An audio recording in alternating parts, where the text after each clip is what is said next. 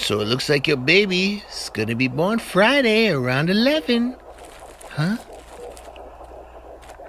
Can't. That's. The late night live stream is on at 11 with Don A. Oh no.